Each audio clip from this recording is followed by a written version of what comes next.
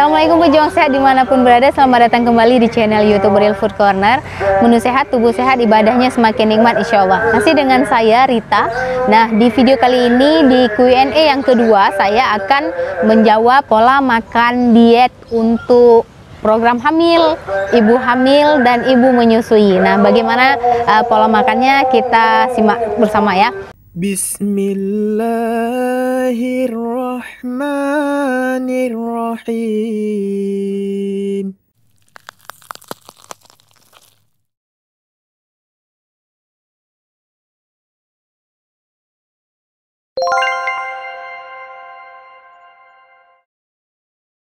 Nah, jadi pada saat saya di program kehamilan kemarin, saya dan suami itu sama-sama mengkonsumsi tiga hal. Yang pertama minyak zaitun, kurma, dan madu. Nah, itu di pagi hari dan di malam hari sebelum tidur. Ya, wajib uh, selama sampai proses kehamilan itu ya. Uh, kurang lebih kemarin sebulanan lebih gitu itu selama proses kehamilan. Nah untuk makannya saya masih sama persis makan seperti uh, diet yang mungkin teman-teman pernah nonton pola makan diet kenyang. Nah mungkin teman-teman bisa lihat link di atas ini. Nah ini pola makan diet kenyang yang saya jalankan untuk program hamil itu masih sama seperti itu. Nah sekarang saya akan bahas bagaimana pada saat saya hamil dan menyusui. Nah ini sama. Jadi pola makannya di pagi hari itu saya uh, minum smoothie ataupun jus Nah, kalau misalnya nggak ada smoothie ataupun jus, saya bisa makan buah potong saja. Nah, dibarengi dengan minum teh rempah. Nah, kalau untuk pada saat masa hamil di trimester 1, saya itu seringnya setiap hari itu minum teh rempah, eh, jahe, sereh, eh, sama jeruk nipis. Nah, itu tiga hal yang saya sering minum di pagi hari untuk mengurangi mual muntah ibu hamil gitu ya. Tapi selama menyusui kadang-kadang saja tidak setiap hari. Ya, kalau misalnya pada saat kehamilan di trimester 1 itu saya sering mengkonsumsi hal itu untuk menghindari mual muntah di awal kehamilan. Jadi itu anti muntah yang herbal alami yang bisa kita konsumsi untuk ibu hamil. Berikutnya pada saat di masa kehamilan itu saya uh, laparnya itu sebentar-sebentar. Jadi saya makan itu hampir 30 menit sekali, 30 menit sekali itu makan. Nah, saya makannya buah. Jadi buahnya saya ganti. Misalnya 30 menit pertama makan pepaya, nanti makan guava, terus nanti 30 menit kemudian saya makan apel, 30 menit kemudian mungkin saya bisa makan kacang-kacangan.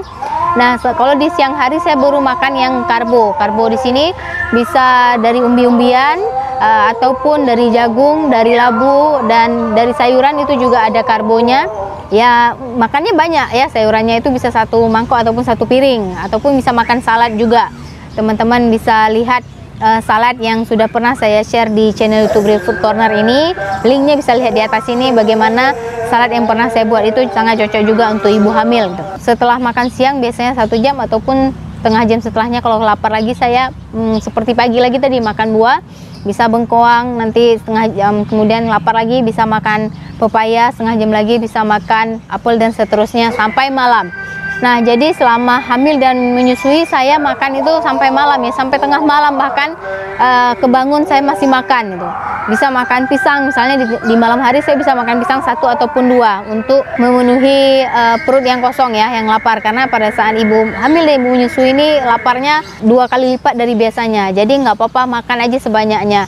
Jadi pada saat uh, hamil itu saya berat badan itu naik sampai 20 kilo dan setelah melahirkan sekarang di masa menyusui ini uh, saya masih ada kelebihan berat badan itu sebanyak 5 kilo lagi gitu ya. Nah sekarang biarkan perlahan-lahan saja karena saya fokusnya ke ASI Alhamdulillah saya kemarin berhasil ASI eksklusif 6 bulan itu full ASI tok tanpa susu formula sama sekali tanpa obat-obatan dan tanpa hal-hal yang lainnya Alhamdulillah Nah itu semuanya berkat makanan sehat real food semua makanan yang ada di channel YouTube Real Food Corner ini itu aja saya ulang-ulang saya makan. Yang paling banyak yang saya konsumsi adalah uh, bubur kacang-kacangan. Mungkin teman-teman bisa lihat di link di atas sini.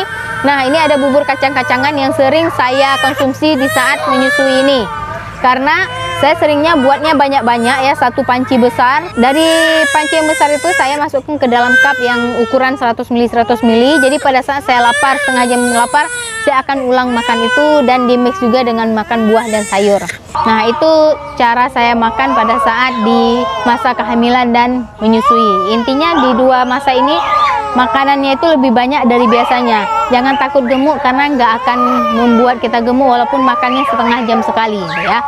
Uh, terima kasih telah menonton video ini. Jangan lupa meninggalkan pesan jika ada yang ingin ditanyakan. Saya akan jawab di Q&A berikutnya. Sampai jumpa lagi. Assalamualaikum warahmatullahi wabarakatuh.